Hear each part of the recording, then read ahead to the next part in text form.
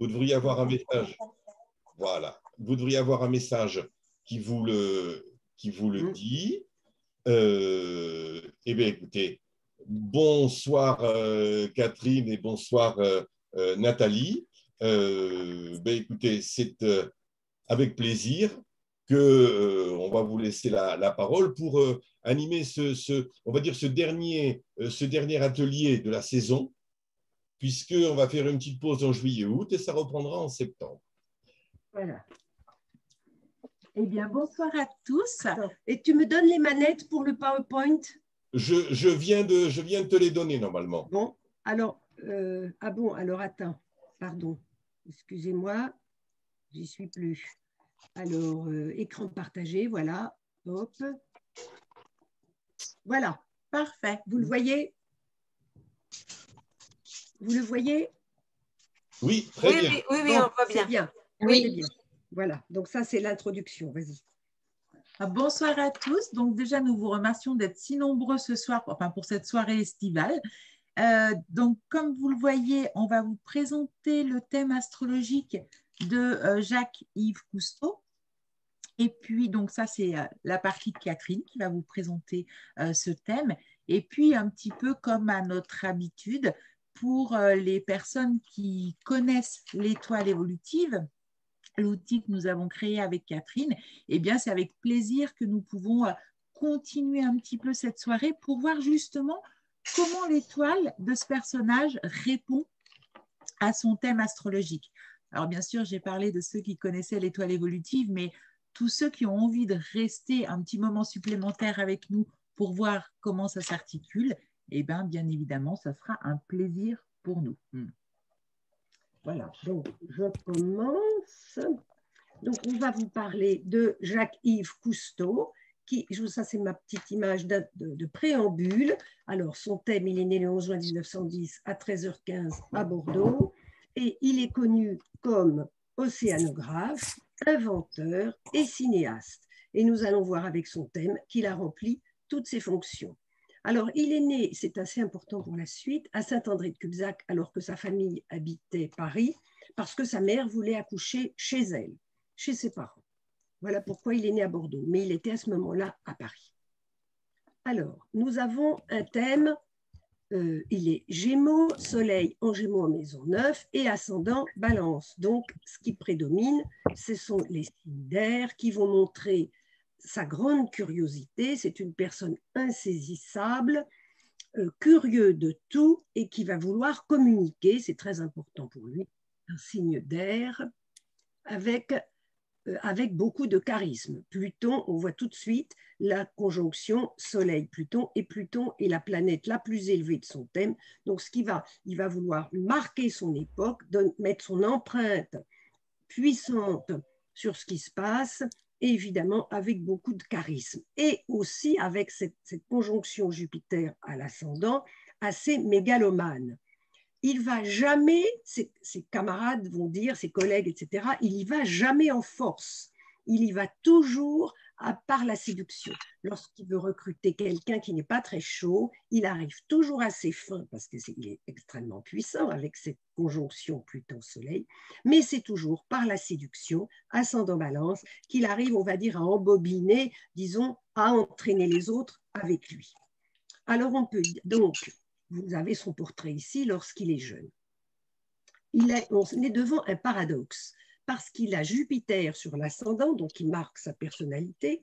Par contre, son maître d'ascendant, Vénus, est conjointe à Saturne. Donc, il est un peu des deux, une personne qui veut prendre de la place et aussi, avec Saturne, Saturne va briser, si on veut, le charme et, comme l'ondulant avec tempérance, si on veut, de la balance. C'est finalement avec Saturne conjoint ou maître d'ascendant une personne autoritaire. Il est en effet militaire, lui c'est un militaire de carrière, il est entré dans la marine, il voulait devenir pilote d'avion dans la marine, l'aéronautique navale. Un accident de voiture lui a abîmé un bras, donc il va rester marin. Alors il va se tourner vers la mer. Euh, donc, euh, à l'époque, on connaît les explorations du, du commandant Charcot, qui était aussi médecin, et son contemporain Hans Haas, un Autrichien, qui a fait exactement la même chose que lui à la même époque. Donc, son pouvoir de séduction, on va dire allié à une certaine mégalomanie, on les voit avec la, euh, cette façon de soleil en joie, en maison, en gémeaux, et c'est le joueur qui va chercher à manipuler, si on veut, et évidemment adepte des grands voyages avec la maison neuve. Et aussi cet appétit de puissance. On va y revenir tout à l'heure. Alors, bien sûr, on voit l'importance. Donc, lui, c'est une famille assez traditionnelle. Son père était avocat, ils ont les moyens. C'est ce Saturne qui a dû jouer sur sa personnalité. C'est une famille traditionnelle, on respecte les règles. Et euh, lui, ce Mercure qui est extrêmement important, maître du Soleil, de Pluton. Alors Mercure est encore en taureau, hein, à 29,50, mais il est conjoint en nœud nord. Donc le maître du Soleil, conjoint en nœud nord, il va réaliser ce pourquoi il est venu, hein, c'est-à-dire son rêve de grands espaces. C'est un touche-à-tout qui va vouloir ne pas avoir de contraintes. En effet, c'est très important. Mercure et Trigone à l'ascendant en balance et en Jupiter, donc il est sûr de sa valeur, de sa place dans la société. Et aussi, il va faire que ce qui lui plaît. Mercure et Trigone à Uranus. Uranus va rester rétrograde, Uranus maître de sa maison 5, toute sa vie. J'ai cherché à 120 ans, Uranus est toujours rétrograde. Ça, c'est son génie inventif. Je vous ai dit que c'était un océanographe, un inventeur et un cinéaste. Alors, L'océanographe, ça se voit très bien avec, avec Neptune là-haut au milieu du ciel, et l'inventeur, l'image aussi très importante avec ce Neptune là-haut, et l'inventeur, c'est ce trigone, Mercure, nœud nord et Uranus rétrograde. Alors, peut-être que cet Uranus rétrograde, c'est qu'il n'a pas lui-même inventé. Mais par contre, son génie, ça a été de s'associer avec des personnes extrêmement valables, pas forcément des gens connus, mais des jeunes prometteurs, comme par exemple Louis Malle, qui était absolument inconnu et qui va devenir un cinéaste très important, Yves Paquelet, pour écrire, qui est devenu écrivain, etc. Et il a, entre autres, inventé, parce que donc, son bonheur, toute sa vie, c'est la plongée sous-marine. Et donc, il va inventer cet outil-là avec un autre, avec un autre, c'est peut-être sur Uranus rétrograde, ça s'appelle un détenteur. C'est-à-dire qu'avant lui, on plonge avec un énorme scaphandre relié au, bateau. Donc, ce n'est pas de la plongée libre, on ne peut pas aller où on veut, on ne peut pas aller tellement profond. Avec ça, on n'a plus, de, on pas, rien ne vous rattache au bateau. On est libre. Ah, ça change tout. Hein. C'est bien cet Uranus. Et puis, il va aussi inventer cette soucoupe plongeante, c'est une espèce de drone, si on veut, sous la mer, qui permet de partir en autonomie 4-5 heures. Et enfin, très important, ce qu'il a appelé le précontinent, il voulait organiser une vie sous-marine et que les hommes soient capables de vivre plusieurs mois sous la mer. C'est d'ailleurs probablement l'origine d'un de ses films, Le Monde sans soleil, puisqu'on plonge très profondément où on voit qu'il sait très bien s'entourer, comme je vous ai dit. Là, alors, il y a des copains, hein, des copains. Donc là, c'est lui, jeune, Taillez, Dumas, et ils se sont appelés les Mousquemères. Ce sont trois gars qui n'ont peur de rien et qui vont vouloir découvrir et faire connaître le monde sous-marin. Alors, on voit qu'il sait bien s'entourer parce que l'autre en face de lui, c'est Mars. Mars opposé à Uranus, la 7 opposée avec la 5 pour ses inventions. Voilà, et c'est ce contact qu'il y a entre l'autre et moi, ce que je peux inventer et ce que je suis. Bon, ça crée évidemment de la tension. Je ne vous cacherai pas que c'est une personne, comme tous les personnages assez géniaux et inventifs, extrêmement difficile à vivre, on y reviendra, mais euh, il a extrêmement beaucoup d'idées. Et c'est grâce à tout cet entourage de gars extrêmement valables et qui n'ont peur de rien comme lui, qui ont assuré son succès. Alors, je trouve, en plus, ce Mars, maître de 7, est conjoint à Neptune. Neptune, c'est sa maison 6. C'est son, je vous ai dit qu'il était difficile à vivre. Eh bien, lorsqu'on a une maison 6 en poisson, on n'est pas pépère dans ses charentaises, sûrement pas. Il lui faut de l'évasion, il lui faut de grands espaces. Ça ne fait pas quelqu'un de facile à vivre au quotidien. Et donc, ça pourrait être viens vivre mon rêve avec moi si on veut, ou partageons notre rêve, ce Mars-Neptune en maison 10. On voit que le. Alors, il va également acheter la Calypso, c'est un ancien, je crois, un dragueur de mine anglais, avec l'argent de la dot de sa femme, dont je vais vous parler tout à l'heure, et un milliardaire américain, il va pouvoir acheter ce bateau avec lequel il ira partout sur les mers pour faire ses recherches. Alors, le milieu du ciel, très important pour lui, puisque presque toutes les planètes sont là-haut, est encadré de Neptune, l'appel des horizons lointains, la mer évidemment, elle a c'est littéral, et Pluton, cet appétit de puissance, de manipulation.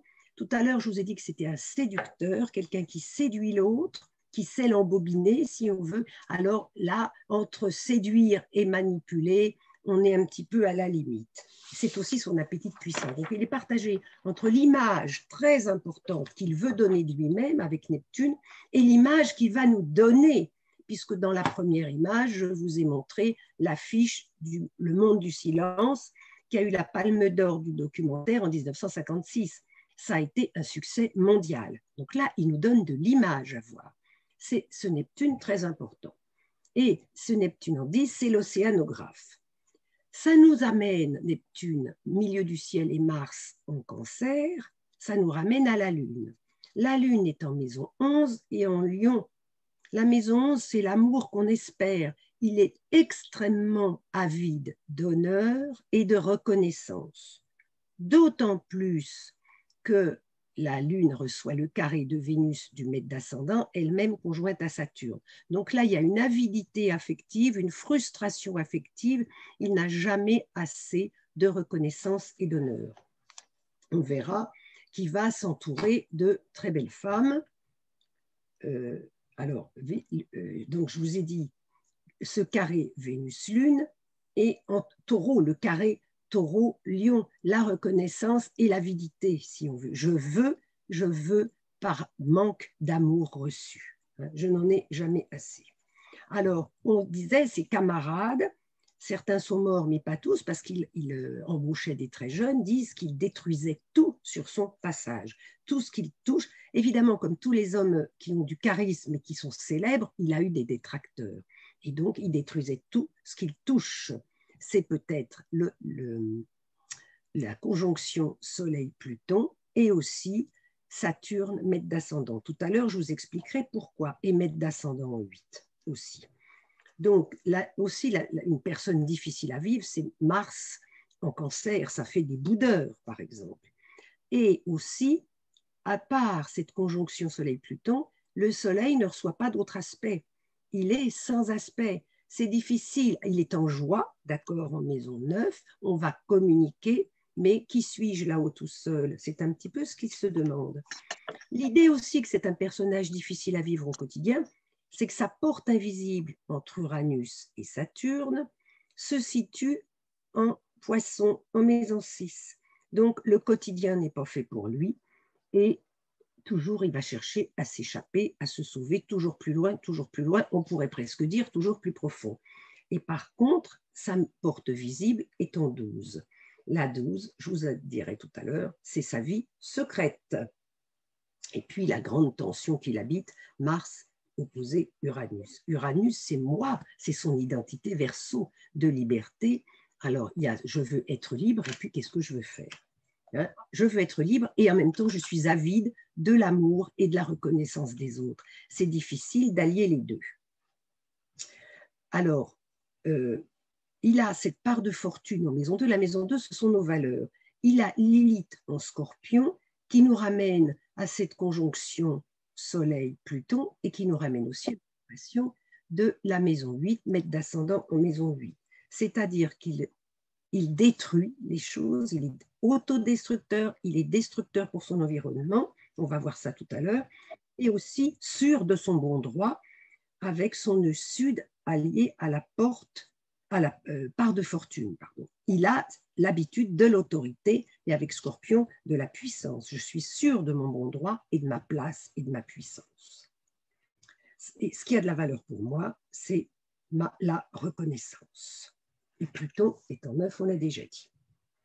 Alors, Cette lune, quand même extrêmement importante, en, en Lion, en maison 11, je vous ai dit qu'il aura de très belles femmes qui portent, qui sont vraiment élégantes. C'est la seule planète en signe de feu du thème. Donc, l'ardeur, la reconnaissance, c'est un appétit insatiable, ce lion, d'être reconnu. D'autre part, la Lune est hors limite. C'est la seule planète très légèrement hors limite de tout son thème. Ça accentue encore cette Lune et ses émotions.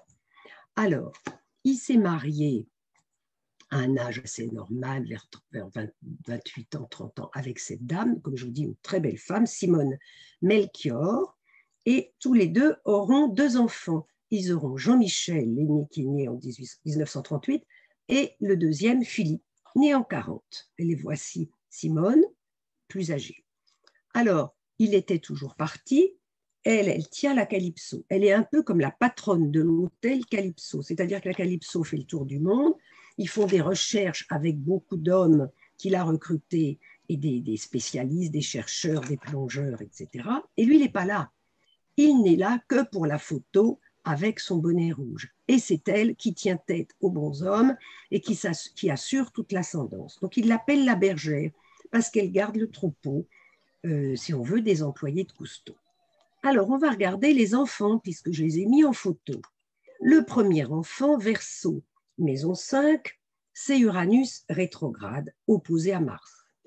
On peut se dire qu'il s'oppose à son père. Ça doit être difficile, les rapports entre les deux. Ils se disputent tous les deux. Et en particulier, donc, cet homme, avec lui, il a fondé, lorsqu'il est devenu célèbre, le parc océanique Cousteau à Paris. Alors, placement du Forum des Halles. Il avait comme particularité, ce parc océanique, de ne présenter aucun animal vivant et pas d'eau. Donc, c'était des images pour expliquer aux Parisiens ce qu'étaient les fonds marins. Il y a eu beaucoup d'investisseurs, ça a assez bien marché, mais pas, pas assez de bénéfices pour les investisseurs. Au bout de deux ans, en 92, le parc a dû fermer. Et lorsqu'on a interrogé Cousteau à la caméra, devant les micros, comment ça se fait que votre affaire se casse la figure, il a désingué son fils devant tout le monde. C'est la faute de Jean-Michel, c'est Jean-Michel qui n'a pas su, c'est Jean-Michel qui était en charge, c'est lui qui ne sait pas gérer une affaire devant tout le monde. Ça montre les rapports tendus entre le père et le fils. Le suivant, celui-ci, Philippe, du coup, on va aller voir la maison 7. C'est le bélier. Mars, de nouveau, opposé à Uranus, s'est tendu et conjoint à Neptune. Et lui, malheureusement, vous voyez sa date de mort, il va mourir dans un accident d'hydravion au Portugal. C'était un plongeur. C'est lui qui a amené son père à l'écologie. Parce que Cousteau, on le voit comme un écologiste, un précurseur, mais au début, pas du tout. Il y avait, euh, c'était l'étude des fonds sous-marins, comme sous Albert Ier de Monaco, c'est-à-dire on veut savoir ce qu'un requin mange, et eh ben on attrape un requin, on lui ouvre le ventre et on regarde ce qu'il a dans l'estomac et dans les intestins. C'est une façon destructrice. Sur le film Le Monde du Silence, il y a des scènes qui maintenant ne sont plus supportables. On fait péter, on fait exploser la barrière de corail, on massacre des bandes requins, on va réveiller les mérous qui sont cachés, qui dorment, etc. Et lui lui a dit c'est pas ça. Maintenant, il faut que tu alertes le monde, la pollution, les dangers. Là, on est en train de perdre l'océan, on est en train de perdre la terre. Il a, il a écouté ce fils Philippe. Malheureusement, il est mort très précocement. Alors, pour rendre hommage à Cousteau, lorsqu'on a remixé, si on veut, le film 20 ans, 30 ans plus tard, il date de 56. Hein, je vous ai montré Le Monde du Silence, il a eu la Palme d'Or en 56. Donc, ça choquait personne qu'on massacre les requins. Les requins, ça bouffe les hommes, donc ça fait rien. La barrière de corail, il y en a plein les océans, c'est pas grave. Quand on a voulu le repasser 20 ans plus tard, on a dit à Cousteau, on va retirer ces images-là, elles sont insoutenables, c'est pas possible de montrer une image pareille. Et là, il a dit non, que vous soyez choqués, ça me fait extrêmement plaisir et ça montre l'avancée des mentalités. Ça montre où nous en étions en 56, que ça passait tout bien, tout facile qu'on massacre les poissons. Si maintenant c'est insoutenable, c'est que le public, moi et le public, grâce à moi, a fait de gros progrès, le progrès des mentalités et l'écologie peu à peu s'installe. Donc là, vraiment, il n'avait pas tort et c'était une forme d'honnêteté de laisser le film avec toutes ces images. Ensuite, donc, il a perdu ce fils. Il va, cette dame, alors, en 4, non, je vais vous parler d'abord de cette dame. Elle meurt en 1991, âgée et très malade. Jusqu'au bout, elle est restée sur la Calypso pour s'occuper de, des hommes qui étaient dessus. Elle meurt en 91. Et à ce moment-là, on apprend que Jacques-Yves Cousteau, donc c'est sa porte visible en maison 12, il avait une vie, elle, elle le savait, sa femme, mais elle n'avait rien dit, il avait une vie, une autre vie, il avait un autre foyer avec cette jeune femme, Francine Triplet, qu'il a rencontrée en 76. Ils ont 35 ans d'écart. Elle, elle a 30 ans quand elle le rencontre. C'est une hôtesse de l'air, Air France, vous voyez, très belle, elle aussi, très chic, etc. Et lui, il a déjà 65 ans. En 89, il a, eu, il a été élu à l'Académie française.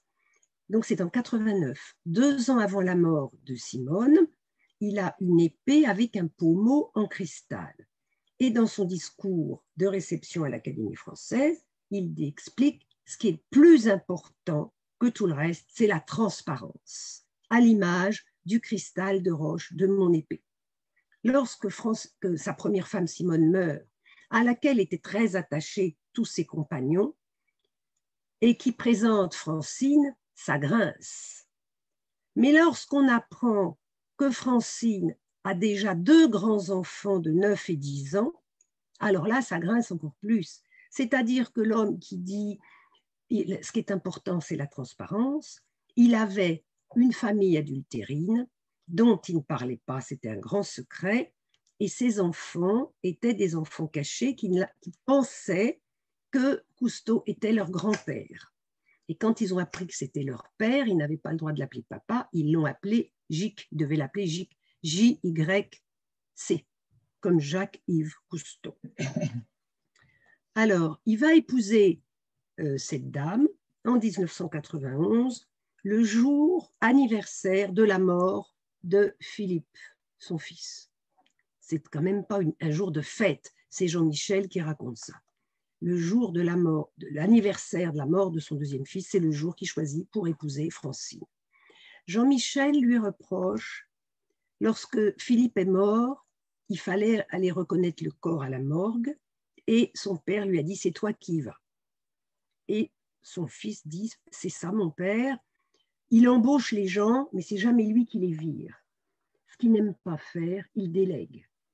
C'est peut-être cette double phase gémeaux qui renonce devant les choses qui ne lui conviennent pas, qui sont lourdes. Et donc, il, est pas, il a envoyé le, fils et dit, c'était tout de même mon frère, et c'était quand même très difficile d'aller, cet acte d'aller à la morgue. Mais c'est moi qui ai dû y aller. Et puis alors, il se remarie le jour de la mort de, enfin, l'anniversaire. Donc, je vous ai dit, les transits, lorsqu'il est, l'image l'image publique, on le voit très bien avec ce Neptune, là où toutes ces planètes au, au sud du thème, là-haut, c'est très important pour lui, cette reconnaissance publique et l'image qu'il donne. Et donc, c'est son jour de gloire absolue lorsqu'il est reçu à l'Académie, bien entendu. Et donc, ce jour-là, Jupiter transite le Soleil, Pluton arrive sur Lilith, qu'est-ce qui a de la valeur pour moi? C'est ma puissance sociale, si on veut, c'est ça qui a de la valeur, Pluton est chez lui. Le nœud nord a, transité Chiron, il vient de dépasser Chiron, donc cette épée d'académicien soigne beaucoup de blessures d'identité avec Chiron en 5. Et Saturne et Neptune ensemble sont ici. Ils transitent aucun quinconce de la Lune. Et donc, ça nous renvoie encore à cette reconnaissance publique qu'il espère tant. Et puis Uranus transite ici. Uranus arrive là, donc il est opposé évidemment au milieu du ciel. C'est pour lui, on peut dire, une consécration peut-être inattendue. En tout cas, certainement une revanche. Donc je reprends où j'en étais restée avec les enfants. On a vu le premier enfant, hein, Jean-Michel, le deuxième, et puis, on peut tout simplement lire les deux autres, puisqu'il a deux autres enfants avec Francine. Mais on a, on a Mercure dessus, en plein dessus le deuxième enfant. Mais c'est une, un, il est maître d'une maison interceptée. C'est un enfant caché. En fait, le maître de cette maison 9, le troisième enfant, c'est Vénus. Et Vénus est en 8. C'est un sujet tabou, on ne parle pas de cet enfant-là, enfin jusqu'à ce qu'il ait 10 ans, conjoint à Saturne. On a caché cet enfant. C'est une fille. Diane, elle s'appelle. Et le dernier, il s'appelle Pierre-Yves. Lui, alors on va regarder la maison 11. Et qu'est-ce que nous avons en maison 11 C'est le lion. En lion, c'est le soleil qui, lui, est... En fait, non, c'est cet axe-là hein, qui est intercepté, l'axe 3-9. Eh bien, le lion est dans un axe intercepté, donc difficile d'en prendre conscience, et euh, conjoint Pluton, encore une vie cachée. Vous voyez comme les enfants successifs sont assez parlants dans son thème. Alors, l'adultère long avec Francine, c'est parce que ça a quand même duré de 1976 à 91, donc euh, presque 20 ans, c'est maison 5, Uranus rétrograde opposé à Mars. C'est l'adultère probablement. Il finit par épouser Francine en maison 4. Et Francine, ils ont vécu avec Francine exactement la même histoire qu'on a entendue dans les médias avec la famille de Johnny Hallyday, c'est-à-dire que c'est elle qui a tous les droits d'image de tout l'héritage Cousteau, euh, c'est-à-dire tout l'argent récolté par les livres. Vous voyez, Le Monde du Silence, par exemple, euh, c'est des livres avant d'être un film. Il y a des livres, les films, euh, tous les droits à l'image, les parcs, la calypso, etc. Tout ça, c'est elle. Et lorsque le grand garçon Jean-Michel, enfin il est plus âgé que moi, veut faire quelque chose en mettant son nom, eh bien lui intente un procès et elle gagne son procès. Elle pas, il n'a pas le droit de faire une image commerciale de son nom. C'est elle qui a tout. Et elle est assez, apparemment, assez féroce. Alors, son bateau, il y a une chose un petit peu amusante, il a eu un premier bateau qui s'appelait Calypso, c'est une nymphe, mais le deuxième bateau s'appelle Alcyone. Alcyone, c'est une étoile fixe. Et elle est là, c'est la plus brillante étoile des Pléiades. Et Alcyone est juste sur son Mercure.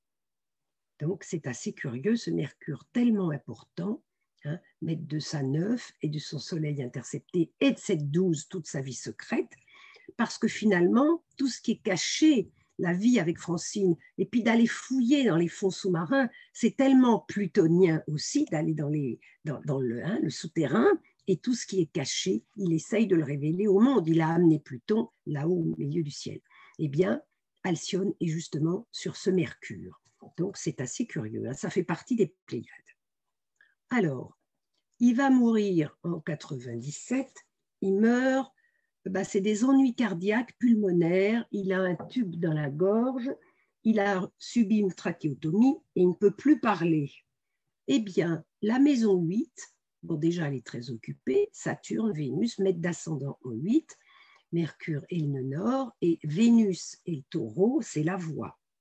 Eh bien, il n'a plus de voix lorsqu'il meurt. Et c'est très curieux parce que ces films s'appellent le monde du silence, alors que le soleil aux Gémeaux est bavard, mais sa mort est silencieuse.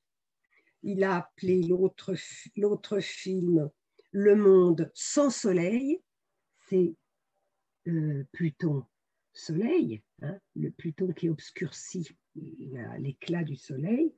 Et un troisième, parmi d'autres, il y en a d'autres, mais Voyage au bout du monde ce voyage au bout du monde, c'est l'occupation, je trouve, du Soleil en maison neuf et euh, avec Pluton, on va jusqu'au bout. Voyage au bout du monde, on voit l'occupation de cette maison neuf. Alors, l'axe, cet axe 3-9 est intercepté. La clé de l'axe euh, là, de ce côté-là, c'est Pluton. Or, Pluton est dans l'interception. Il n'y a pas moyen de s'en sortir. Et puis, euh, la clé ici, c'est Vénus. Mais Vénus est conjointe à Saturne. C'est encore difficile. Hein. Il doit gérer par son mental pour aller jusqu'au bout. Donc, on voit bien que cette clé de maison neuve conjointe à Saturne, c'est très difficile à vivre. C'est le renoncement ou la peur de renoncer et la destruction aussi à cause de la maison 8. Voilà je crois, et alors Uranus aussi, l'importance d'Uranus, qui est la seule planète euh, de ce côté, enfin à part Jupiter. Mais si l'heure n'est pas tout à fait exacte, on ne sait pas très bien où est Jupiter. Autrement, Uranus est la seule planète au nord et rétrograde, d'où évidemment ça, ça lui donne énormément d'importance puisqu'elle est maître de cette maison 5 en verso, c'est-à-dire son génie inventif, son identité. Voilà, on le voit avec cet Uranus tout seul ici. Là, je vous montre à quel point, évidemment, vous le savez, il y a des timbres émis pour lui, les grands aventuriers français, avec toujours l'image de la personne qui a montré les fonds sous-marins et sa célébrité. Alors ça, c'est la Calypso, voyez, et puis des timbres de différents pays. Ça, c'est sa tombe. On aurait pu penser qu'il voudrait être euh, qu'on répande ses cendres sur la mer. Ça aurait pu. Ben non, pas du tout. Comme sa mère, je vous ai dit en début d'exposé, elle a voulu accoucher à la maison, eh bien lui, il, veut, il a voulu reposer avec sa mère chez ses ancêtres maternels à Saint-André de Cubzac. Donc, il est enterré sur la terre à Saint-André de Cubzac.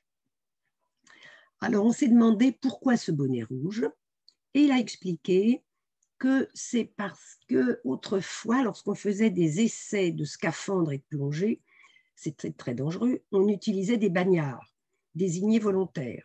Il, était, avait peur que les bagnards en profitent et se sauvent. Alors ils étaient habillés dans des couleurs très vives et avec ce bonnet rouge, on les repérait de loin. Et en plus, les scaphandres, pour récupérer de l'air, il fallait taper dessus pour relancer le, le clapet, j'imagine. Et donc, il fallait un bonnet parce qu'autrement, on avait mal, ça faisait mal à la tête. Donc, en honneur des bagnards qui, les premiers, ont plongé, eh bien, il portait ce bonnet rouge. Ça faisait partie de son image. Alors, il le mettait, paraît-il, pour la photo. Hein. Voilà, quand il était sur la Calypso, pareil pour la photo. Voilà, j'ai fini ma partie astrologique pour montrer l'homme qui était Cousteau. Il a été pendant sa vie euh, très longtemps l'homme préféré des Français. C'est une légende, il y a beaucoup d'écoles qui s'appellent Cousteau, etc. Mais c'est un peu, Nathalie va le dire, hein, un homme à double face, c'est un gémeau, il est un trickster, on dit en anglais, hein, un jongleur, un, illusionniste quelque part. Hein. Ah, et ça bien. Moi, je trouve qu'il a même plus qu'une double face. Il a vraiment une personnalité multiple. Il est extrêmement difficile à cerner, je trouve. Euh, il y a vraiment plein de facettes chez lui. Et oui, c'est le Gémeaux, ça. Oui, oui, oui, oui, oui. Vous voulez poser des questions ou on passe à l'étoile Vous voulez des questions? Vous en avez? On va aller voir. Bonsoir. De mon grand-père. Catherine, c'est ton grand-père qui a inventé le, détendeur? Catherine Oui, je suis là. Bonjour. C'est pas mon grand-père, c'est mon arrière-grand-père, en fait. Je me suis trompée. Euh, oui. oui. il a fait ça avec Cousteau. Il y a tout un tas de... Moi, j'ai toujours entendu parler de ça euh, dans ma famille. ah ben, c'est formidable. Et eh ben, ça, mais après, c'est toutes les histoires de machination qui sont plus... Euh, entre l'Amérique et la France, j'ai toujours entendu parler de ça. Ah oui, oui, oui, bah, tu vois, c'est vrai. Oui, oui. Alors, il y avait aussi un qui s'appelle Galant. Tu as dû en entendre parler ouais, bah, Galant. Hein voilà, ils ont inventé. Alors, on dit c'est Cousteau qui l'a inventé. Ben, comme j'ai dit, c'est peut-être cet Uranus rétrograde. Non, il a participé. Ben, je pense qu'ils ont participé à plusieurs, mais euh, René oui. était, était un petit peu de la même trempe que Cousteau, donc euh, on ne sait pas. Hein? on ne sait pas trop.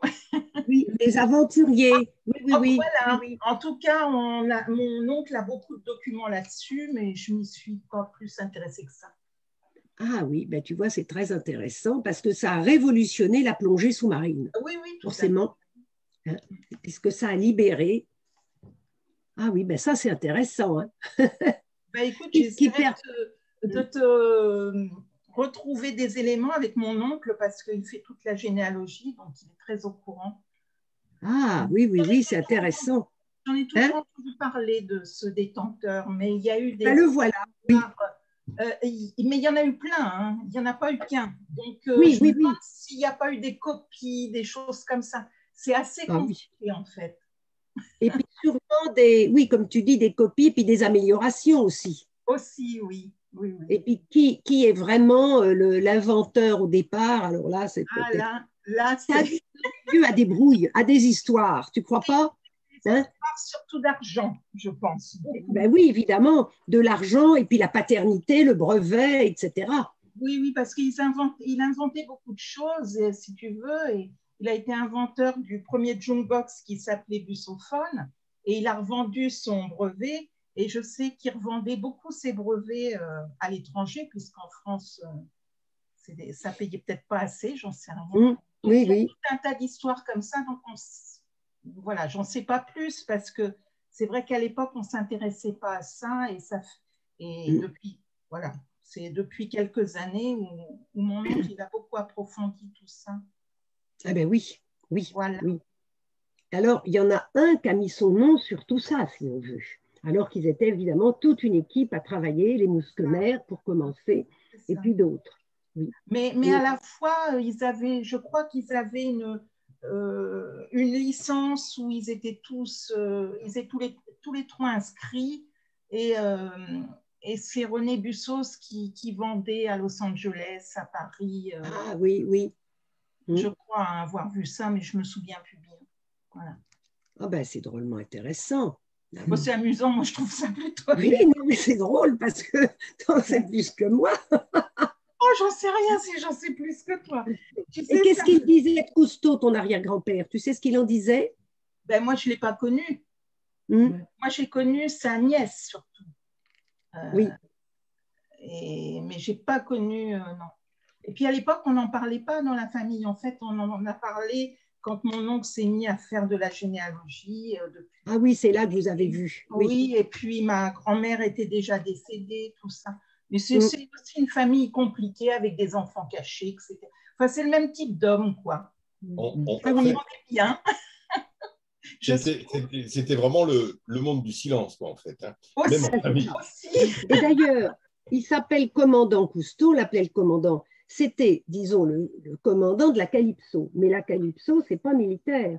C'est un, bâtiment qui est devenu civil et tout ça, ce sont des entreprises civiles, subventionnées peut-être par l'État de temps en temps, mais c'est absolument civil, surtout subventionné par les recettes avec les films et puis les Américains qui donnaient beaucoup d'argent. Il était beaucoup plus célèbre au départ en Amérique et au Japon, qu'en France. Mais il n'était pas commandant, pas du tout. Il, il, a fini sa carrière militaire quand il a démissionné comme capitaine de corvette. Si ça vous dit quelque chose, il avait le grade de capitaine de corvette. Mais il n'a jamais été commandant de marine. Pour vous dire, voyez, il y a toujours comme ça un peu une ambiguïté. Multifacette. Alors, il y, a, il y a Dominique qui demande qu'est-ce qui permet de dire qu'il détruisait tout ce qu'il touchait?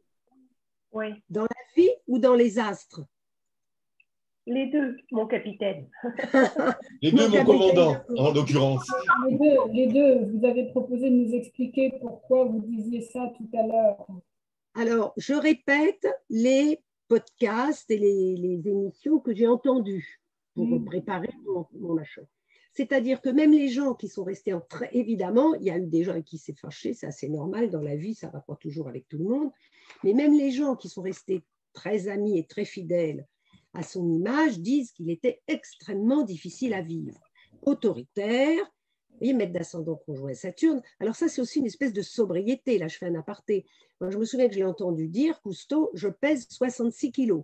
Quoi qu'il arrive, je ne grossis pas, je pèse 66 kilos. C'est une forme de sobriété, de rester mince comme ça et un peu squelettique et très sobre. Quoi qu'il mange, il faisait 66 kilos. Bon, mais autrement, eh bien, il, démolissait les gens, c'est-à-dire qu'il les utilisait. Là, je ne fais que répéter, je ne sais pas, je ne veux pas le démolir, j'en sais rien, mais ils sont assez tous unanimes pour dire qu'il est très difficile. Et puis on dit, il embauche les gens, mais jamais il ne va les virer. Il fait faire le sale boulot, c'est-à-dire virer quelqu'un, c'est pas agréable de lui expliquer qu'on n'en veut plus. Il fait toujours faire le sale boulot par quelqu'un d'autre, par exemple. Et comme il a fait avec son fils, il l'a envoyé à la morgue à sa place, par exemple. Et puis, euh, il a, alors d'un point de vue, donc, euh, et puis je pense qu'il y avait une mauvaise ambiance. Il n'y était jamais sur la Calypso, mais c'était tout pour l'image. si ce qui est le plus important, c'est l'image, peut-être qu'on piétine autre chose. Et puis, ça leur fondait le cœur de savoir que cette vieille dame qu'ils aimaient beaucoup, etc., qui s'était beaucoup occupée d'eux sur le bateau, elle disait, je suis la seule femme de marin à attendre mon mari à bord. Parce que oh. les femmes de marin, elles attendent au port, pas sur le bateau. Il n'y était jamais. Or, quand on regarde les films, où est-ce qu'il est filmé? Il est filmé sur la Calypso ou sur l'Alcyone. Vous voyez, il y a toujours comme ça. Bon, et puis alors, dans le thème, il y a quand même une espèce de prédominance du scorpion et de la maison 8, qui sont euh, Pluton, Soleil, maître d'ascendant en maison 8, Saturne en maison 8, et, Lilith aussi en scorpion. Quelles sont mes valeurs? Eh bien, les valeurs auxquelles je dois rester fidèle, ce sont des valeurs scorpion. Alors, le scorpion, évidemment, d'intelligence, de pouvoir, de magnétisme, de charisme, mais aussi l'argent et euh, la manipulation. Mhm. Alors, il y a, euh, Claire aussi qui dit euh, J'ai compris que Mars en cancer le rendait difficile à vivre. En maison 10, est-ce important? Ben, C'est ce qu'on voit. C'est ce qu'on voit. Oui, parce que Mars est conjoint c'est l'autre. Alors, c'est sa femme, c'est chaque employé, si on veut, la personne qu'il a en face de lui. Eh bien, il, qu'est-ce qu'il oppose? Une, une, façade floue, un peu insaisissable, et puis de la tension, ça devait péter de temps en temps, j'imagine. Peut-être que c'était pas facile. Hein. Hmm? la pointe de Troie, l'entourage, c'est Scorpion. Donc je vous domine, je vous domine, je cherche à vous dominer et à vous manipuler. C'est ce qu'on pourrait dire d'un point de vue archétypal. OK, c'est pas juste le fait que son Mars est en cancer qui le rend difficile. Parce qu'il y, a des. Euh, il y a des transits, euh, pas des transits, mais des aspects qui. Parce que j'ai un Mars en cancer, c'est pour ça que j'ai posé la question. Mais moi, c'est en maison 11, c'est pour ça que je ah me demande. La maison, c'est quoi qui fait? Puis il me semble que je ne suis pas si difficile, mais tu sais, on ne se perçoit pas toujours comme les autres nous perçoivent. Ah, mais ça ne veut pas dire que c'est simplement, le Mars en cancer, on retourne un peu l'épée contre soi. On est souvent boudeur, on se renferme quand on est agressé. Hein? Oui, ça, je dirais qu'on se renferme quand on est agressé. Ça, je suis d'accord avec ça. Oui, oui, oui, oui, oui. Et puis, ça donne quand même un côté insaisissable. Mars, c'est un Mars dans l'eau. Hein? c'est quand même un signe de feu dans l'eau. Que... Oui, oui, ça fait une épée dans l'eau, quoi. Ça fait un carton mouillé. C'est ça, on ne fait pas grand-chose finalement. oui, oui. Tu peux prendre ça. Je vous remercie. Il y, a, il, y a, Fabienne aussi, qui est avec Vénus conjoint Saturne, même jeune, il fait déjà vieux, ah, ce qui est étonnant chez un Gémeaux. Oui, oui, oui, peut-être. Oui, bah, oui, la casquette, là, elle a l'air trop grande pour lui sur la photo. C'est vrai, c'est vrai. Mais ces gens-là, quand ils font jeunes, vieux quand ils sont jeunes, ils se bonifient en vieillissant. Hein, J'ai remarqué, ils sont de mieux en mieux. Regardez, il est bien une fois vieux. Moi, je trouve que ceux qui se bonifient en vieillissant, c'est tout ce qui est scorpion Pluton. ah oui, oui, oui, oui, oui. Il y a les, scorpions Pluton, plus ils vieillissent, plus ils rajeunissent, je trouve. C'est ton cas C'est ton cas Non pas Ah non, pas du tout, pas du tout. Non, non, moi, je, en bon Capricorne, je préfère blanc. non, mais les Capricornes, c'est Inès comme des petits vieux, et plus oh, ils vieillissent, plus ils rajeunissent. Ah non, c'est vrai, les Capricornes, ils sont connus pour ça. Hmm? Et il a justement sa maison 4 en Capricorne. Justement. C'est vrai que si on le prend là, le 15 juin 89, et si on le prend sur la première photo, enfin la première photo, Catherine, que tu as mise, il n'y a pas tellement de différence physiquement, tu vois? Oui, oui, oui. oui, Sur sa photo jeune avec tous les autres là. Enfin, non, surtout sur celle où c'est marqué les mousquemères. Oui, oui, là. Entre celle-là et, là où il est très âgé, finalement, il n'a pas beaucoup vieilli. Hein. il reste vieux tout le temps. Ça, fait très capricorne, ça, le côté maigre. Et, euh, eh ben, c'est la conjonction du maître d'ascendant à Saturne. Mm. Ça lui donne de la sobriété. Pourtant, Vénus est en taureau, mais ça lui donne une sobriété. c'est vrai, pourtant, Vénus est en taureau, tu as raison. Eh oui. Mais oui. C'est Saturne qui domine. Oui, et oui. Parce qu'en plus, il dit qu'il peut manger ce qu'il veut, de toute façon, il fait toujours, je crois, 66 kilos, je crois que tu disais. 66 kilos, il disait ça. Où qu'il soit, il, a, il reste à 66 kilos. S'il a un peu grossi, il repère tout de suite et il reste. Je me souviens de ça m'avait frappé. Il reste à 66 kilos. Je ne sais pas combien il mesurait. Je, précise que ce n'est pas tous les Capricornes qui ont cette chance. Hein. par contre, effectivement, je crois qu'il voulait absolument être pilote. Et oui, ça, ça a été vraiment une vocation absolument euh, contrariée. Donc, d'où peut-être cette maison 10 en opposition avec Uranus Mars, Neptune, je ne sais pas. Enfin, en tout cas, dans, toutes les biographies, on dit que vraiment, ça a été le grand regret de, sa vie de ne pas pouvoir piloter. Et donc, il a fait le deuil de son bras. Et Pluton, Soleil en Gémeaux, les Gémeaux, c'est le bras aussi. Oui, si on veut, si on veut voir les choses littéralement. Euh, mais le Pluton Soleil, il n'y a pas quelque chose avec son père quand même il n'y a pas eu euh, un petit souci ou quelque chose de pesant ou de, le père qui a pu, euh, je ne sais pas, poser un souci ou qu'il a trop, euh, et il a trop, lui a donné trop de pouvoir ou, il manquait, je ne sais pas. tout à fait d'accord. J'ai l'impression qu'au niveau du, du, milieu, du milieu familial, cette maison 4, elle, a l'air quand même bien, bien chargée. Un Ça rigole pas. il, mm. comme si la Calypso était sa deuxième maison parce que la maison initiale était, était désagréable. quoi. C'est-à-dire, enfin, je ne connais que les faits. C'est que son père était avocat d'affaires, il travaillait pour des Américains, et à l'âge de 10 ans, il est parti aux États-Unis avec son père, et c'est là qu'il a connu la plongée dans le Vermont. Donc, quand même, à 10 ans, il avait fait un beau voyage, ils avaient les moyens, et ensuite, ils sont rentrés en France et il a vécu à Marseille. Et là, alors évidemment, il a beaucoup plongé, c'est là que sa vocation, parce qu'il ne voulait pas être pilote dans l'Air Force, là, dans l'armée de l'air, il voulait être pilote d'avion, mais de l'aéronautique navale, sur un bateau. Et donc cet amour de la mer, ça vient ah, pour de plonger dans le Vermont quand il avait 10 ans, et ensuite à Marseille, son enfance à Marseille, dans la Méditerranée. C'est pour ça qu'il a beaucoup parlé de la Méditerranée. Et il a été largement, justement, subventionné par Régnier de Monaco, qui l'aidait beaucoup, qui lui donnait beaucoup d'argent, et tout ça pour la Méditerranée, puisque la Méditerranée était en grand danger de, pollution. C'est Uranus en position Mars en maison 4, je trouve que c'est quand même étonnant, alors que d'après ce que tu dis, ça a l'air d'être plutôt heureux comme, euh, comme enfant. Oui, mais peut-être, alors, j'ai pas trouvé que son père était, peut-être qu'il était très sévère, très rigide, je ne sais pas. Ou alors c'est l'armée puisqu'il a été quand même, il a fait sa carrière dans l'armée pendant la guerre, il était à l'armée, puis après il a été réformé, non pas réformé, mais euh, mis en congé parce que la guerre était finie, enfin, on n'avait plus besoin de lui après la défaite. Donc sa famille, c'est l'armée, c'est le Capricorne, peut-être les règles. Mmh. Et, mais je ne sais pas. À vrai dire, j'ai pas trouvé. Il faut voir si son père n'avait pas une emprise sur lui ou quelque chose qu'il surestimait ou qu'il avait l'impression. Peut-être, peut-être. Peut son père avait euh, un peu sur lui, enfin, je ne sais pas. C'est bien possible. oui, c'est bien possible. Et c'est justement, quand justement, on ne sait pas. Là, bon, et eh ben, l'étoile évolutive, figurez-vous, elle va peut-être nous donner des réponses. Ah. C'est de longue transition, Catherine. Et eh oui, alors ah, je suis fière de ma transition. Un peu, oui, bien amenée. Vous allez voir comme elle est bien amenée. Si vous êtes prêts, on passe à la suite.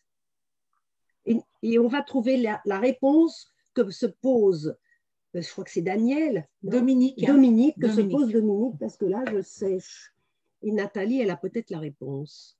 Alors, je vous la mets comme ça, et comme ça, vous avez les deux. Oui? Hein, C'est tout bon? Oui, ça vous va? Oui. oui, oui, oui, Voilà. Ah, Alors, en plein écran, c'est parfait.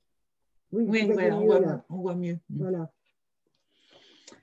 Alors, effectivement, euh, je ne sais pas si l'étoile évolutive, elle va apporter cette réponse-là, mais en tous les cas, une chose est certaine, c'est qu'elle met vraiment en exergue la blessure par rapport au père. Alors, ça, je vais vous l'expliquer dans quelques minutes, mais avant, je vais, euh, voilà, euh, on va remarquer quelque chose de particulièrement important sur cette étoile évolutive, c'est qu'il y a de nombreux arcanes qui sont en double, c'est-à-dire deux fois le même arcane. C'est-à-dire qu'on remarque qu'en haut à gauche, il y a deux fois le mat, en bas, il y a deux fois le pape, Ensuite, sur la colonne de lumière, il y a deux fois hmm, l'amoureux. La colonne de lumière, c'est au milieu, c'est tout ça. Hmm. Ensuite, euh, deux fois l'amoureux. Après, si on monte, on voit qu'il y a deux fois le pendu, c'est-à-dire qu'on euh, a le pendu, la lune et encore le pendu. Hmm. On voit qu'il y a deux roues de fortune. C'est l'année de sa mort. Ça, c'est pour l'année de sa mort. Ah, enfin, non, deux, pardon. Ici et là. Donc, on est quand même sur une étoile très typique de cette notion de dualité, puisque quand dans une étoile évolutive, on a autant d'arcanes représentés deux fois, c'est que le personnage est véritablement dans sa dualité. Au niveau du signe astrologique, on est quand même sur un natif Gémeaux. Alors, maintenant, on va commencer à rentrer un petit peu dans son étoile par ce qu'on appelle le poste 3. Le poste 3, c'est celui que vous voyez tout à fait en bas et qui nous parle du programme de vie. Alors, bien sûr, je vais faire très simple hein, parce qu'on pourrait dire plein, plein de choses. Ben, vous imaginez un programme de vie. Euh, mais en tous les cas, ce programme de vie, il contient autant des choses positives que des choses négatives. Et un pape en poste 3, enfin, le programme de vie contient aussi une notion de blessure. Et le pape dans le tarot, c'est le papa. Donc, il vient nous parler d'une blessure au père et en tous les cas de non-reconnaissance par rapport au père. Et cette dimension de blessure va être d'autant plus affirmée par le fait que nous voyons le deuxième pape qui se trouve au poste 2, c'est-à-dire c'est toujours en bas, voilà. Et là, le poste 2, c'est vraiment le lieu de la blessure. Donc, cette notion de non-reconnaissance du Père a été quelque chose de particulièrement douloureux pour lui. Alors, quelle manière ça a pris? On ne sait pas véritablement hein, comment ça s'est euh, comment ça s'est présenté pour lui. Mais en tous les cas, ça a créé cette blessure de non-reconnaissance et où il a eu de cesse de rechercher ben, cette notion de reconnaissance extérieure hein, avec une avidité d'admiration, de louange, d'honneur. On un programme de vie, c'est ce qui va diriger un petit peu toute notre vie. Et comme s'il avait été dirigé par cette dimension de, euh, blessure par rapport au, au manque du père, du manque du regard du père en fait, ou manque d'encouragement du père. Et quand on est astrologue, qu'on voit hmm, ce chiron en euh, maison 5, eh bien un chiron en maison 5, c'est vraiment la blessure par rapport à l'identité. Hmm. C'est-à-dire le fait de rechercher, c'est une blessure de non-reconnaissance, un chiron en, en maison 5. Hein. Et d'autant plus que ça va se passer en poisson, donc, ça va donner quelque chose de flou au niveau de l'identité. Donc, on sait qu'il est Gémeaux, on sait que. Conjonction Soleil Pluton, tout, tout le cri, tout le cri, tout le cri. La reconnaissance, je vous en ai, je ai bassiné avec ça aussi, tout le cri. Hein. Mais, complètement. Mm. Et si on regarde ce, ce Chiron euh, en maison 5 en poisson, moi, enfin, j'entends ou je ressens je ne sais pas qui je suis. Je suis un immense flou, parfois artistique et parfois pas. Alors, tout ça pour vous dire que si on continue sur l'étoile évolutive, le poste de l'identité, c'est le poste 9. Et là, on a un mat. Donc, ce mat, qui, euh, ben, c'est le seul arcane du tarot qui n'a pas de nombre, parce que justement, il ne veut pas être enfermé dans quelque chose de euh, concret. Alors, bien sûr, ça va nous donner aussi ce personnage qui rêve euh, d'évasion, de grands espaces, hein, ce personnage neptunien, mais en même temps, où il va avoir du mal à définir pleinement son identité. Et on retrouve ce même mat au poste 4 qui là lui donne, j'allais dire, le côté un petit peu endommageable du neptunien, c'est-à-dire cette notion de toujours s'échapper, ce côté fuyant quand il y a quelque chose difficile à affronter. Et on le voit dans son vécu, quand son deuxième fils meurt, c'est impossible pour lui d'aller le reconnaître à la morgue. Alors, là, pour moi, cette notion-là, en tant que thérapeute, évidemment, impossible d'aller reconnaître son fils à la morgue. Hmm. Pour moi, c'est quelque chose qui vient aussi vraiment cogner, en quelque sorte, sur la blessure de non-reconnaissance par rapport au père. Hmm. Euh, et ça, voilà, ce sont vraiment des faits hein, que euh, et bien sûr, hein, il n'y a absolument aucune notion de jugement. Moi, ce que j'entends, c'est juste la blessure euh, de, cet homme, hein, évidemment, euh, qui est complètement exprimée, ne serait-ce que déjà, si on focalise sur poste 3, les deux papes, poste 3 et poste 2, euh, quand on a le même arcane en poste 3, en poste 2, eh ben, je dirais que la résolution de la blessure, c'est un petit peu l'œuvre d'une vie. Hein. c'est quelque chose d'extrêmement important. Non-reconnaissance, et on a un mat en identité. Donc, on sent que hmm, ça va être encore plus difficile. Donc, maintenant, on va aller sur des aspects un petit peu plus, euh, j'allais dire, euh, enfin, joyeux, en tous les cas, plus positifs. Donc, évidemment, c'est un inventeur. Hein. Donc, quand on, voit la route fortune de son poste 5, euh, le poste 5, c'est véritablement notre trajectoire, de, euh, notre trajectoire de vie. Et la route fortune, c'est ni plus ni moins l'arcane du novateur, de l'inventeur. Donc, pour lui, euh, ce qui est important dans la vie, c'est véritablement inventer. Ensuite, alors bien sûr, il y a toute cette notion des profondeurs hein, qu'on va retrouver par les deux arcanes de profondeur, c'est-à-dire l'ermite. Mhm. L'ermite est au poste 6 dans son abondant, qui fait que ce qui va l'intéresser, c'est euh, les profondeurs euh, marines.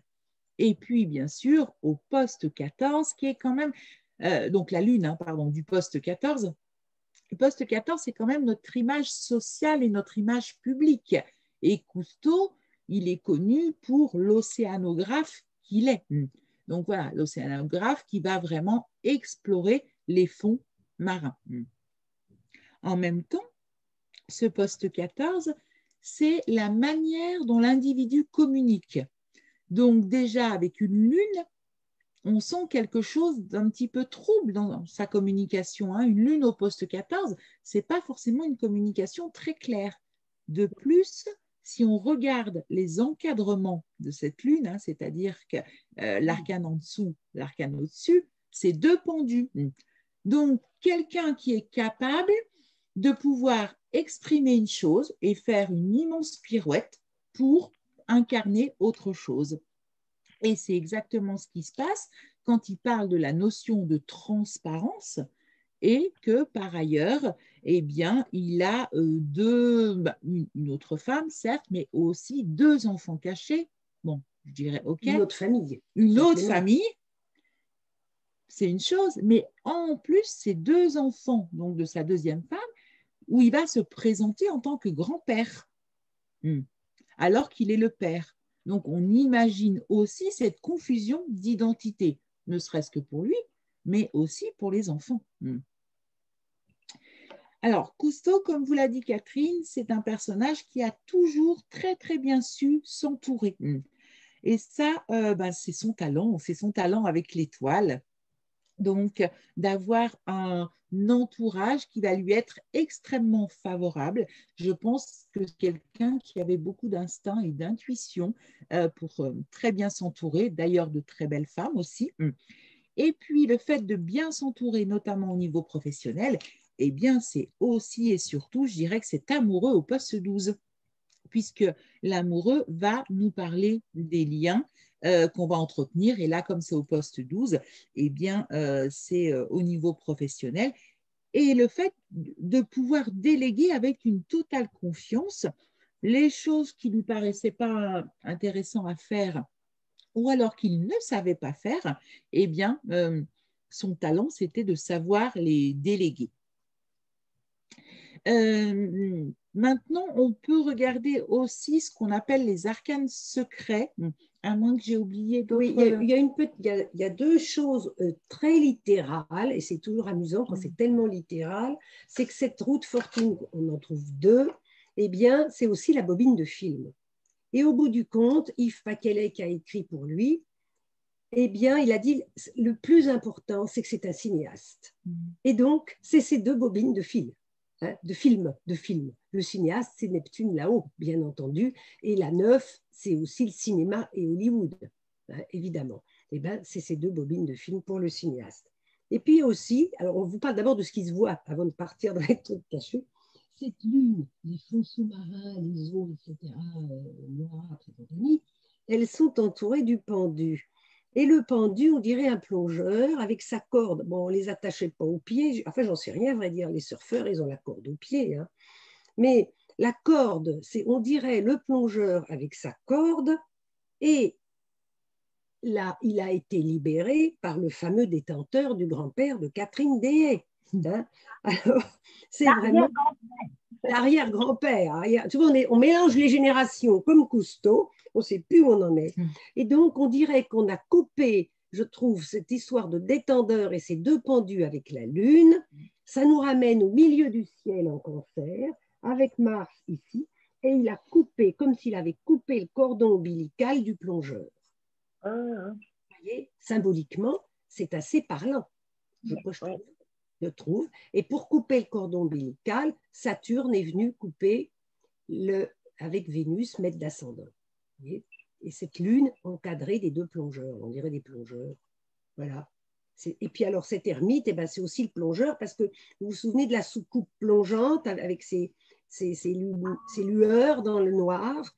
Alors c'est comme les, et puis alors, mais là on l'a dit, on l'a déjà dit ça, mais il était extrêmement charmeur, donc c'est l'étoile. Il séduisait son entourage, il séduisait les téléspectateurs. L'étoile, elle, alors, pour elle moi, vous emballe l'étoile quand même. C'est des gens qui ont beaucoup de charme, l'étoile en un. Oui, mais l'étoile pour moi c'est vraiment un charme naturel avec une authenticité. Moi, son côté charmeur, séducteur, euh, voire manipulateur, euh, je le verrais plus par sa promesse de vie euh, c'est-à-dire, promesse de vie, c'est l'addition de l'arcane en poste 3 et de celui en poste 5. Donc 10 plus 5, ça nous fait 15 et ça fait ce fameux ah, personnage louche du tarot, puisque c'est le seul qui louche, c'est-à-dire le diable. Hmm. Euh, le diable qui peut avoir cette notion d'habileté intellectuelle, euh, d'astuce, de presque de roublardise par moment, pour séduire. Et étymologiquement, séduire, c'est juste conduire l'autre là où soi-même on a envie qu'il aille. Hein. Hmm. C'est la différence entre conduire et séduire. Hmm. Donc cette notion de séducteur, euh, ou voire parfois de manipulateur, eh bien, je le verrais bien par cette promesse de vie diable. Hmm. Alors, pour euh, celles qui euh, connaissent euh, un petit peu l'étoile évolutive, il y a quelque chose qui est fondamental dans, l'étoile, c'est la tyrolienne d'incarnation, hmm. c'est-à-dire la différence entre l'arcane tout en haut du poste 17 et celui tout en bas du poste 3. donc 8 moins 5 égale 3. Et 3, c'est l'impératrice. Donc, en fait, cet arcane de tyrolienne d'incarnation, c'est un petit peu celui qu'on doit utiliser pour ben, évoluer tout au long de notre vie. Hmm. Donc pour lui, ce qui aurait été important, c'est de dire les choses, hmm. de pouvoir les exprimer avec la clarté de l'impératrice. Alors que ben, il est resté quand même dans une dimension de choses cachées hmm, et de secrets, alors qu'on peut retrouver justement par euh, l'arcane du sceau de l'ange, qui est la différence entre l'arcane du poste 17 et celle du poste 16, euh, puisque 10 moins 8, ça nous fait 2, la papesse. La papesse, c'est justement toute cette notion de secret. Hmm. Et en fait, là, on y retrouve aussi cette notion de dualité, parce que c'est comme s'il lui était demandé autant hmm, d'exprimer de révéler que parfois de se taire. Donc, ça renvoie une notion encore plus énigmatique par rapport à euh, ce, personnage, hmm. ce personnage Gémeaux, dont le but justement, avec quand même un nœud euh, nord conjoint Mercure, hmm, c'est quand même d'exprimer les choses et qu'en même temps, on constate qu'il a tenu secrète des choses extrêmement importantes. Et en utilisant toujours ces mêmes arcanes, mais en faisant une addition, à ce moment-là, on a l'arcane sans nom, c'est-à-dire il, aurait retrouvé son identité en exprimant les choses. Oui, complètement. Alors, il y a aussi ça, c'est ce qui va nous aider, cette addition, hein, à, gravir. Oui. C'est la rampe, à gravir et à arriver au mieux de nous-mêmes. Eh bien, c'est un mat. Donc, c'est à la fois la libération du pendu il a, avec le détendeur, il n'a plus besoin d'être accroché au bateau. Ça lui donne la liberté d'aller très profondément dans les fonds sous-marins. Et puis, c'était quelqu'un, évidemment, qu'on ne tenait pas, qui ne tenait pas en place. Hein. Donc, c'est ce mat. le mat, on en a là deux, encore ici. Et comme il a beaucoup d'arcanes identiques, lorsqu'on les soustrait, alors on trouve zéro. Et dans le tarot, le zéro, c'est le mat. Hmm. Donc, on retrouve encore caché beaucoup de mat. Pour les passionnés de transgénérationnel, on remarque quand même qu'il a le champ magnétique de la libération des cycles, hein, c'est-à-dire pendu. L'arcane transgénérationnel par excellence est route fortune.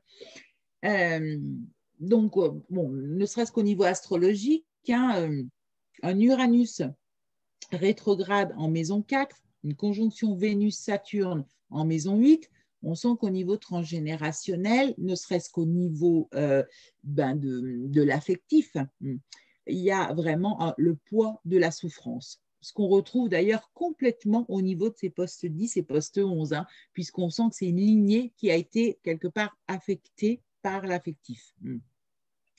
Et c'est intéressant, comment dire, de.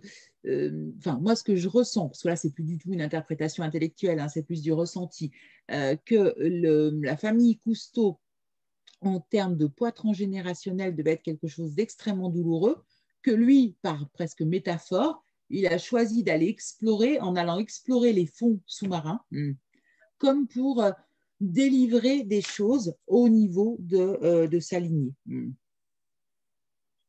D'un point de vue symbolique. D'un point de vue symbolique, hein, évidemment, bien sûr. Mm. Complètement. Mm. Mm. les deux systèmes se complètent, si on veut.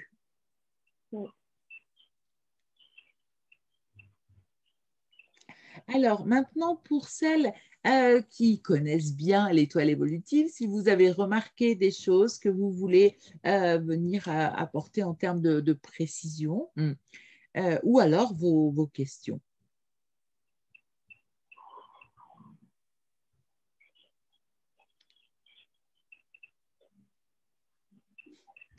Il faut toujours un temps d'atterrissage. Hein. Par exemple, je vais meubler, je meuble sa femme le traitait de beau parleur. Tu es un beau parleur. Eh bien, c'est Pallas. Pallas qui veut parler, qui montre son autorité en maison 6. C'est elle qui tient la maison avec la maison 6. Mais lui, c'est en poisson. Elle est au bord du bateau, elle est sur la calypso. Mais lui, c'est un beau parleur. Et elle le traite de beau parleur, donc elle lui parle avec autorité. Vous voyez, avec cette Pallas, justement, sur la pointe de 6. Et en poisson. Mm moi, je trouve que je suis d'accord qu'il n'y avait pas forcément une histoire de séduction, même s'il cherchait une reconnaissance, hein, on est d'accord. Il y avait, euh, je pense qu'il y avait une préoccupation de l'image. Ah oui, oui, bah oui, oui. Hein, une préoccupation de l'image. Ah, il peut y avoir une préoccupation de l'image sans, qu'il y ait de la séduction. Hein. il y avait de la euh, séduction, parce qu'il embauchait des gens qui n'avaient pas forcément envie de venir avec lui. Mais il savait qu'il serait utile et que ce serait bien pour tout le monde, qu'il serait gagnant-gagnant, et donc il n'y avait jamais de force. C'était toujours comme ça. Euh. C'est quelqu'un de séduisant. La preuve, c'était la personnalité la plus aimée des Français. Oui. Alors, et d'ailleurs, à l'image, il est très plaisant, il est souriant, il est magnifique, il est bien bronzé, etc. Il sort de l'eau comme une nymphe. Hein, il n'est pas déplaisant quand on le voit en film. Hum. Et il est quand même ascendant balance. Hein eh bien, c'est ça. Et c'est ça. Je pense que quand même Oui. C'est cet ascendant balance, en plus euh, avec la, sur, enfin, Jupiter sur l'ascendant, c'est véritablement cette étoile en posture, c'est-à-dire presque un charminé. Eh ben Et sans parler aussi, il y a quand même aussi du Pluton conjoint Soleil, il y a un peu de magnétisme aussi. C'est du charisme, là. Là, on est sur le magnétisme, sur le charisme, hmm, complètement. C'est vrai qu'il a quand même pas mal d'atouts pour lui. Alors peut-être que c'est un père écrasant justement Pluton Soleil. C'est euh, possible ça, pluton soleil un mm. père qui montre toute sa puissance et qui l'écrase. Oui. Peut-être.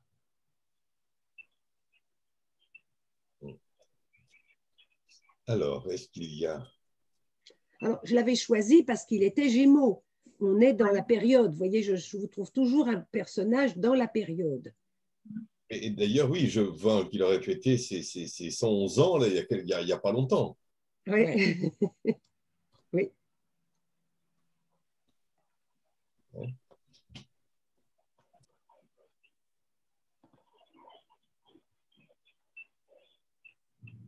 Bien. Je vois que ça, tout, tout, le monde en reste bouche bée. Hein fait le poisson. c'est vraiment le monde du silence, quoi. Hein c'est ça. Euh, ça part de fortune en scorpion. Euh, euh, on l'a peut-être évoqué, j'ai peut-être zappé quelque chose. Du coup, qu'est-ce qu'elle exprime ici, en fait, ici, particulièrement? Les profondeurs. Les profondeurs, oui. c'est ce que je dis d'emblée. La maison 2, c'est ses valeurs, ses propres valeurs, ce en quoi il croit. Et ce en quoi il croit, c'est en son pouvoir, c'est en scorpion, comme Lilith. On le met au défi d'exprimer son pouvoir et de l'utiliser, ou pas, ou son pouvoir ou son manque de pouvoir. Et donc, je pense, c'est comme s'il comptait beaucoup sur ces valeurs qui sont des valeurs scorpionnesques, des valeurs plutoniennes. Je dis ça comme ça, mais peut-être que vous avez d'autres idées, hein, c'est bien possible aussi. Et alors, comme dit Astrid, en déclinaison, la Lune est au mi-point entre Mars et Neptune, c'est-à-dire qu'il va montrer sa combativité, son envie d'y aller et son rêve par la, il va combler ce désir par la reconnaissance publique. La Lune en Lion. En Lion. Puis Pluton à Mercure. Pluton, Pluton en parallèle à Mercure. Ah, il est en parallèle, donc c'est comme si nous avions une conjonction. Donc c'est encore la puissance du mental. Et cette lune en lion, elle est extrêmement importante, puisque si on regarde la croix de la lune noire, eh bien, euh, le point d'affirmation, ah c'est-à-dire le carré décroissant, hein, la lune noire, eh bien, euh, est vraiment en conjonction parfaite avec cette lune euh, lion maison 11. Mm. Est-ce qu'on m'entend là? J'aurais voulu. Vous m'entendez? Oui. Excuse-moi. Je ne sais pas écrire sur l'écran, là. J'ai vu que d'autres le faisaient, mais moi, je ne sais pas faire. Oui, alors écoutez, je ne pose pas de questions parce que l'exposé a été parfait. Voilà. Ben, c'est bien. J'ai compris. J'ai compris ce que je pouvais comprendre et pour moi, c'était très bien. Voilà. Donc, euh, non, parce que faut, quand on voit que le peu de gens qui posent des questions, je dis, je vais quand même les aider. non, c'était. Merci beaucoup. Voilà. Allez.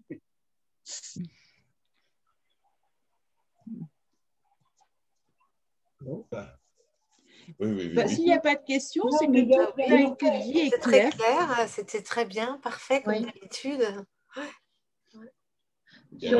Sur l'étoile évolutive, euh, le poste 12 avec l'amoureux, le, on voit que en fait, il a quand même fait un travail qu'il aimait beaucoup. Oui. Et, pour lequel il s'est engagé, euh, il s'est engagé sur, sur toute sa vie et très euh, ah oui, à fond. Mmh. À fond. Mmh. ouais. Travail d'équipe aussi, ouais. Mmh. Ouais, l'équipe avec des liens, oui. Ouais, complètement. Travail d'équipe, c'est aussi enfin, le goût du groupe et tout, la lune en 11. Oui, oui, voilà. La lune en camaraderie. Oui, tout à fait. La vie de groupe, hein, la vie en groupe. Ouais. Et lui, y, y, compris dans son couple, hein, parce qu'il était quand même euh, avec une autre, alors qu'il était encore avec, avec l'ancienne. Enfin, je veux dire, euh, c'est très particulier quand même. Hein euh. mm. On ne sait pas si c'était un si bon camarade que ça. Hein pas sûr.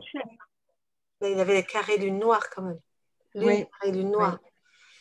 Il provoquait l'admiration, mm. mais je pense qu'il se débarrassait des gens quand il n'était plus. Enfin, c'est ce que j'ai eu. Euh, quand il ne plus, il s'en débarrassait. Enfin, il demandait à quelqu'un d'autre de les virer. Ils étaient utilisés, on va dire.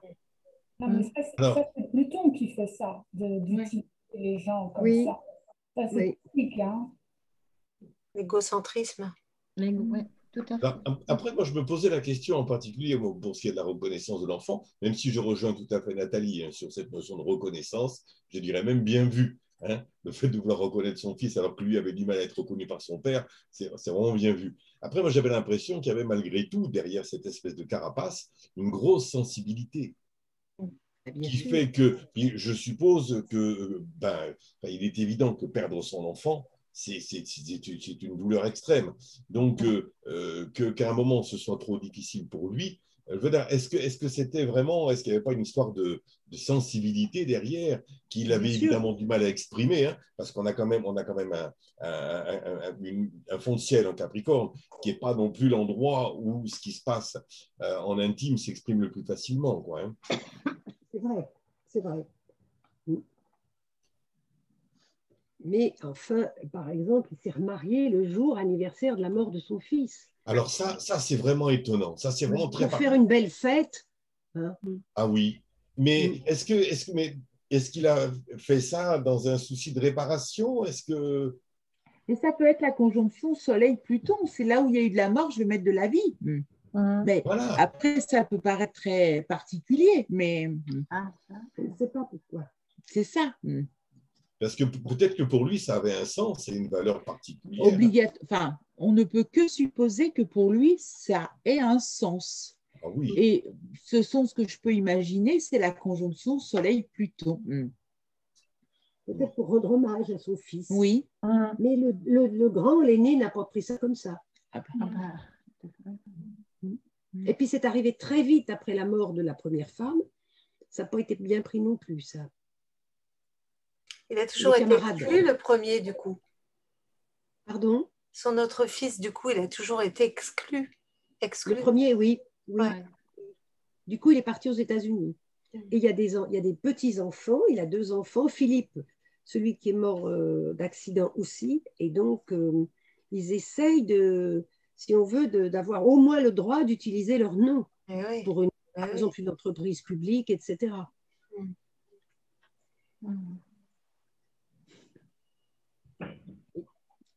Et pour l'image du nom, il a une, petite fille qui s'appelle Céline Cousteau. Elle est à moitié américaine, parce qu'elle est née en Amérique, la fille de Jean-Michel. Et on lui dit, ah, vous êtes une Cousteau. Et elle dit, mais ce nom ne veut rien dire. Ça veut rien dire d'être une Céline Cousteau. Donc c'est drôle parce que ça se répète, si on veut. Où est mon nom? Qui suis-je? Mm, mm. C'est étonnant parce que Cousteau, en plus, on, c'est un nom, il y en a pas, je ne connais, pas d'autres personnes qui s'appellent Cousteau. cest c'est même pas non plus un nom en disant, voilà, il y en a plusieurs, dont un qui est célèbre. Visiblement, Cousteau, ce n'est pas, pas courant.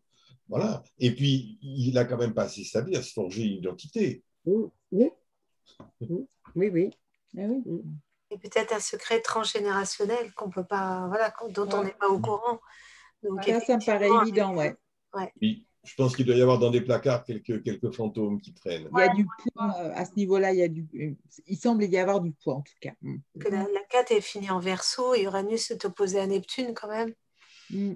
Donc euh, en cancer, la famille, donc du coup ça pourrait signifier qu'il y a peut-être quelque chose, ouais, un fantôme dans le placard. Oui, oui, oui, oui. oui. Mm. Et, et, cette chose-là, c'est quoi la croix déjà? Croix. C'est le vertex.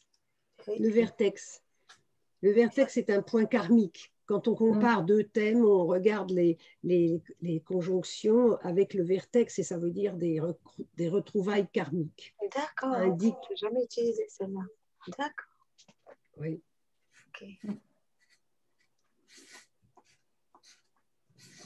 Ça, c'est que les logiciels qui la donnent, Catherine. Ah ben non, ça se calcule, mais moi je ne sais pas le calculer. Mais comme tout le reste, hein, tu peux toujours tout calculer à la main. Oui, oui, tout à fait. Évidemment. Il y, a, un des adhérents de l'ABDA, un adhérent professionnel, qui avait proposé une fois de faire une conférence sur le Vertex. Hein. Mmh. Si, éventuellement... Nous, on en a une à Laura. Un de nos camarades, Michel Janton, si nous eh ben, C'est de lui, c'est de lui que je parle. Ah, c'est lui, oui. Ah ben voilà. c'est Michel, il nous avait fait une très belle conférence à Laura enfin c'était le RAO, sur le vertex, justement. Très intéressant. Oui, Ça pourrait être intéressant aussi, ça, tout à fait. Oui, oui, oui, oui, oui, c'est bien, oui, oui. Non, ce qui est terrible, c'est cette succession qui est extrêmement douloureuse. Mm. Les bagarres euh, entre les, ces, enfants et ces petits-enfants. Inextricables, mm. apparemment. Et qu'on s'y prenne d'une façon ou d'une autre, Nathalie vous a dit là, 10 moins 8, on a la papesse, toutes les choses non dites. Et si on les additionne pour faire une épitaphe, c'est la lune.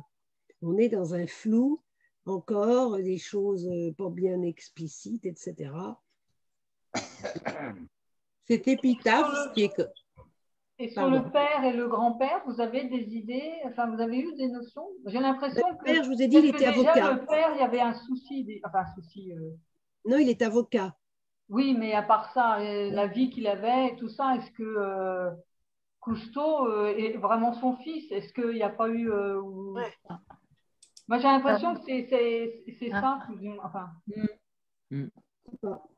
Parce que déjà, le, poste 10, euh, c'est l'amoureux, c'est l'engagement. Est-ce que déjà, ce n'est pas un problème dans la famille? Oui. Hum. Attends, surtout avec euh, Vénus-Saturne en, maison 8. Hein. Oui. Donc là, on est sur du transgénérationnel au niveau des couples. En taureau, en plus. On n'en sait rien. Au niveau famille, on parle beaucoup du père, mais on ne parle jamais de la mère. Exactement, la mère aussi. Qu'est-ce que. Hmm. On parle pas de la mère. Non, c'est rien. Mère cancer. Alors, je crois que la mère était fille de pharmacien parce que leur, il y a des photos de sa maison au-dessus de la pharmacie. Alors, je crois que c'est la pharmacie familiale de sa mère, de, hmm. des parents de sa mère, et de, à Saint-André-de-Cubzac, à côté de Bordeaux. Mais bon, ce sont des choses, on ne sait rien du tout. Voilà. Alors, on ne peut rien dire. On ne sait pas. Par contre, on remarque qu'effectivement, Vénus-Saturne en 8, niveau transgénérationnel, ça laisse entendre un poids au niveau des liens euh, amoureux de la lignée qu'on retrouve complètement euh, ah, avec l'amoureux maison du poste 10. Hein. Mmh. Mmh. C'est juste en fait pour faire, mmh. parce que moi je trouve intéressant, c'est de voir comment les éléments qu'on retrouve dans un thème astrologique vont être évoqués aussi au niveau de l'étoile évolutive, alors qu'on est sur un support complètement différent. Alors bien sûr, on parle de la date de naissance, mais pas que d'ailleurs, puisque pour l'étoile évolutive, on prend l'identité aussi, et on est en langage tarot. Mais on retrouve vraiment des similitudes au niveau des indices. Mm. Mm.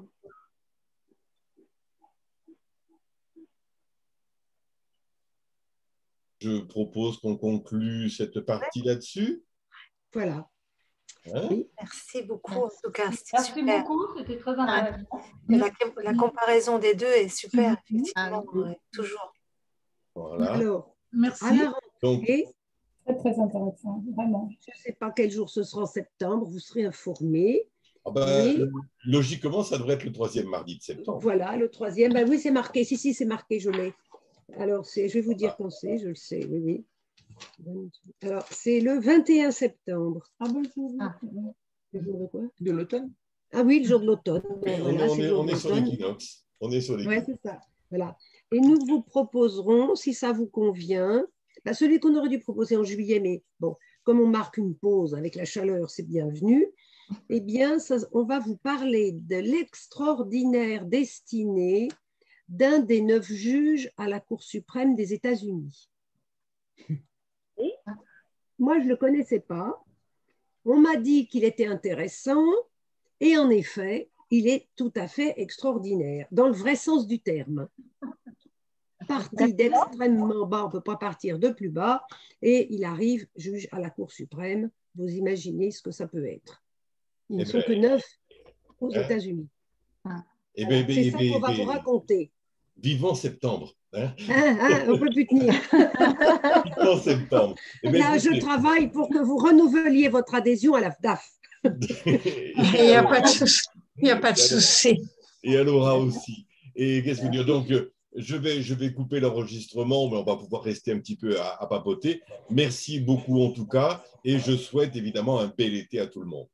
Merci. Merci. Merci.